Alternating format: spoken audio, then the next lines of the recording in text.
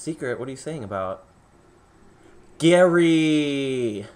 What the fuck? You know it's no secret? You look so good in a v-neck. So good, so effing good. No, don't. Trent Walters does not look better in a v-neck. I hate you!